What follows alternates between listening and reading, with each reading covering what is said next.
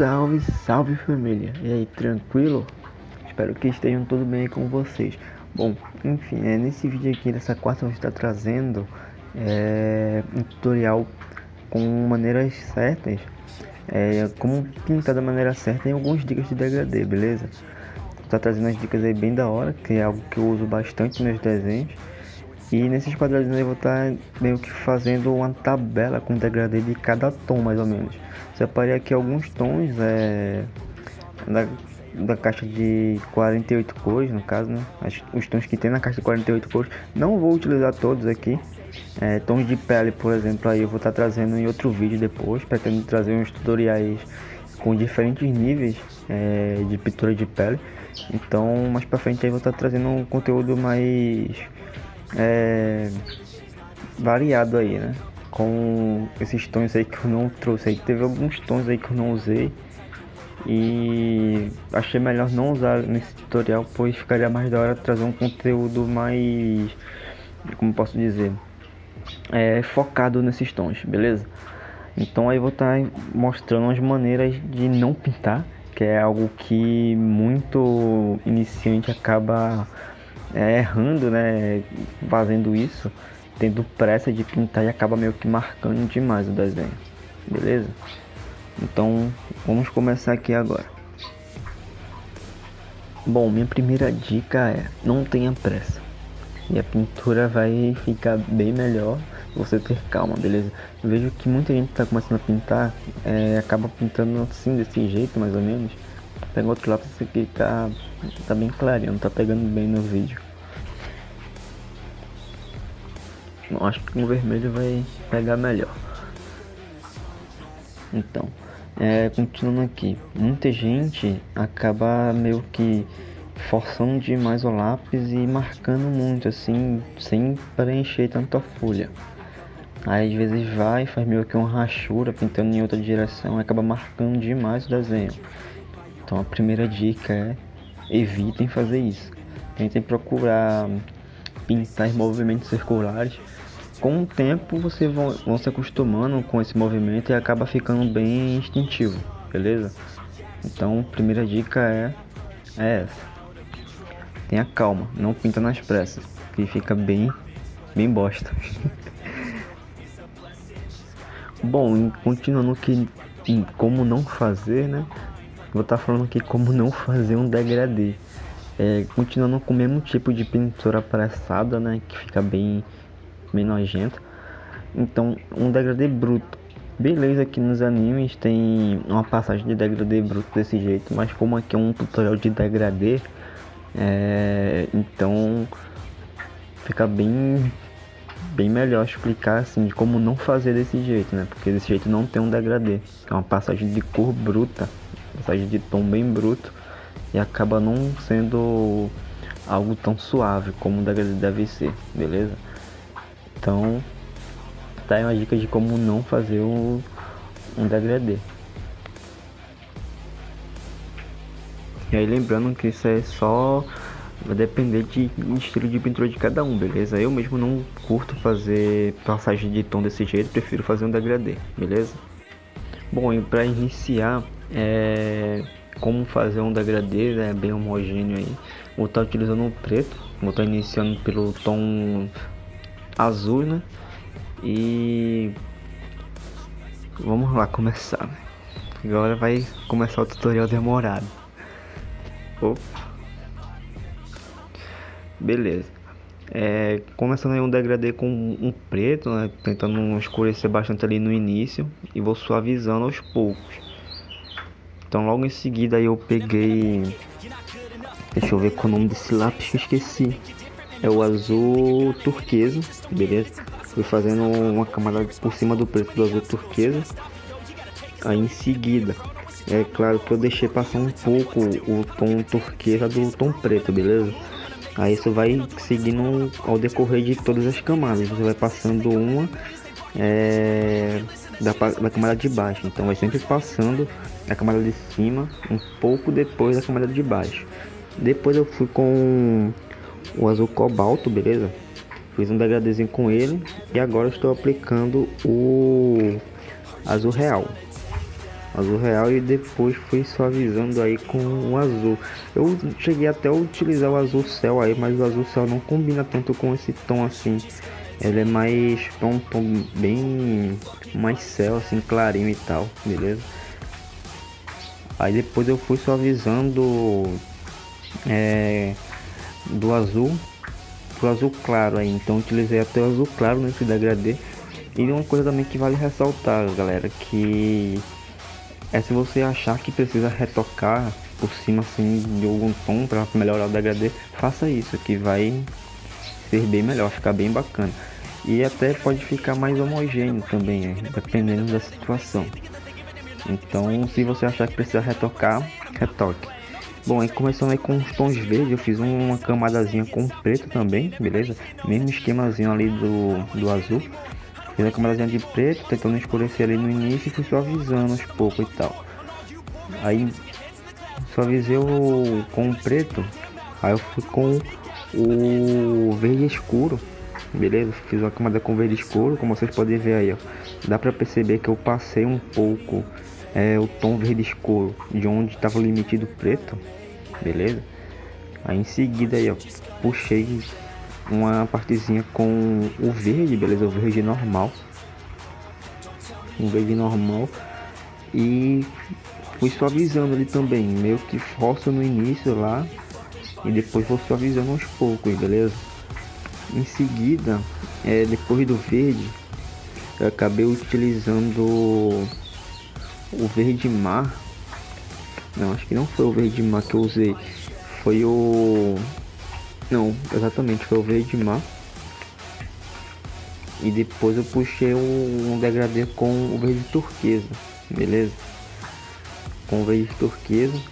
Mas aí também é algo que não curti tanto porque é um tom que não bate. Esse tom bate melhor com, junto com o degradê meu que puxado pro azul assim, tá? Fica mais da hora. usei até o verde água aí, beleza?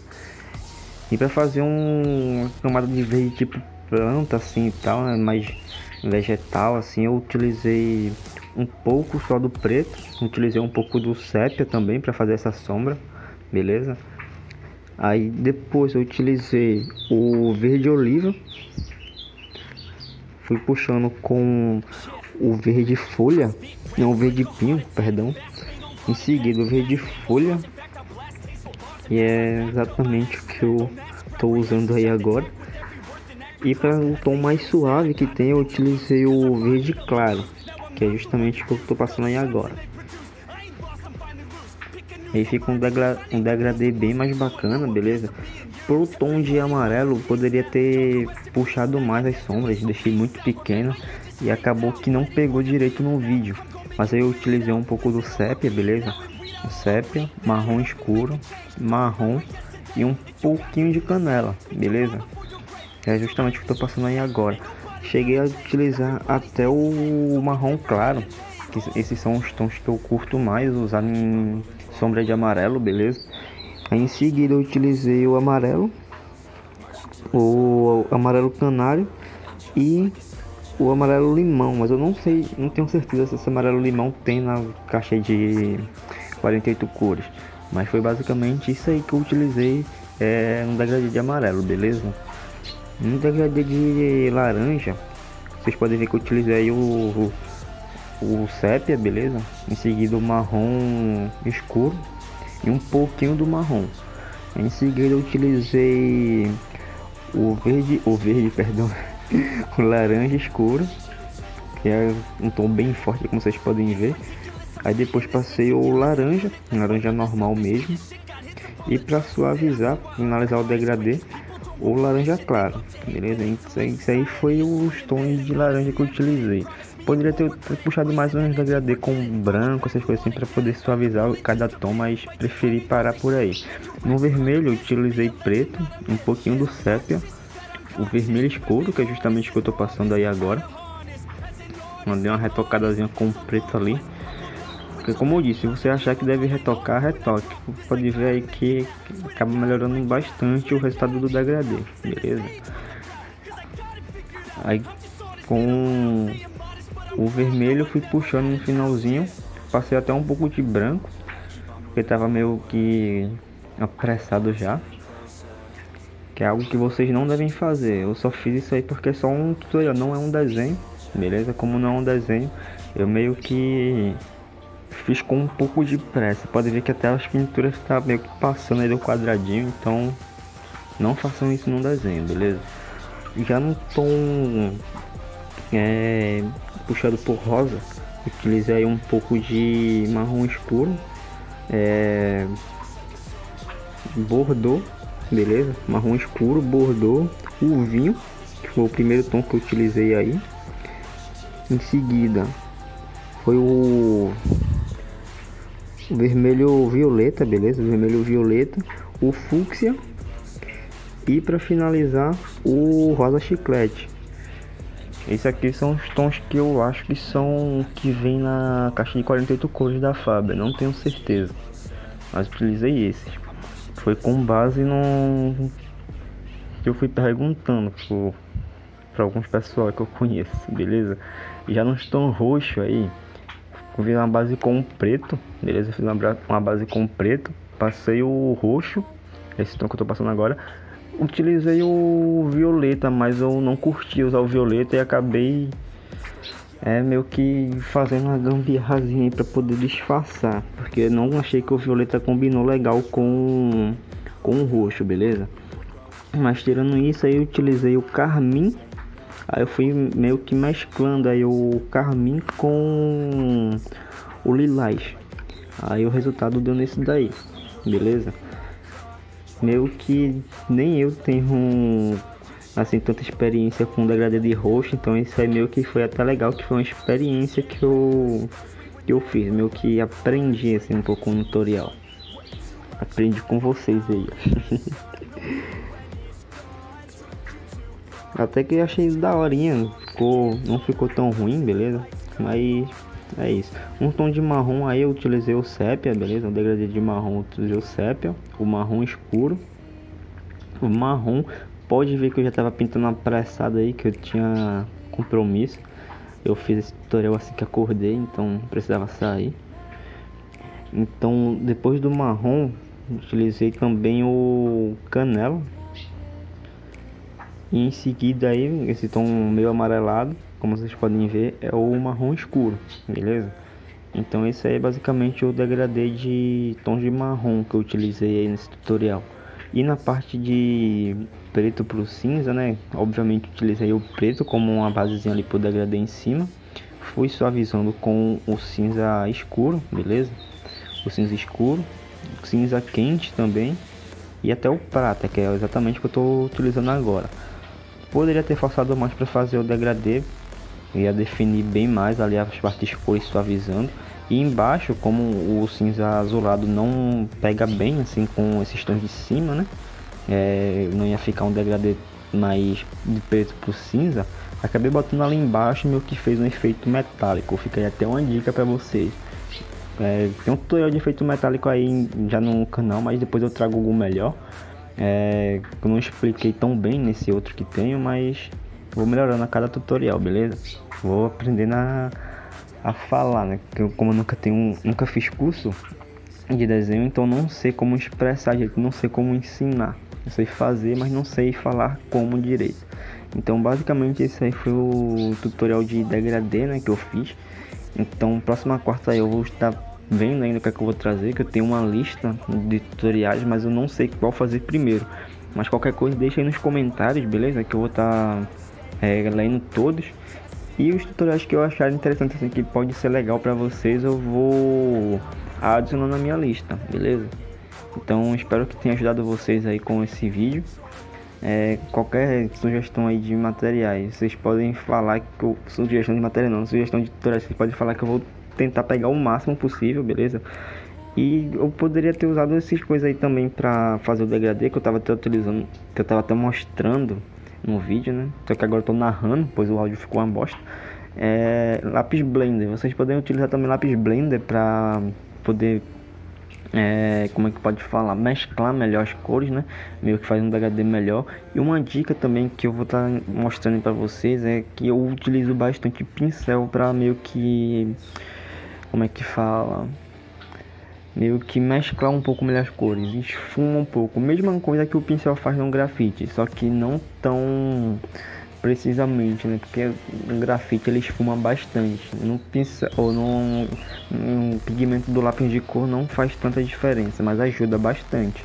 Não vai fazer um milagre, beleza? Você não vai pintar assim todo marcado, passar o pincel vai ficar homogêneo. Negativo. Você tem que sim tentar deixar o mais homogêneo possível enquanto pinta. Aí depois você passa o pincel que meu que vai ajudar um pouco. Beleza? Não vai fazer um milagre de deixar a pintura ah, aquelas mil maravilhas. Não. Vai depender também um pouco do, do lápis que vocês usam, beleza?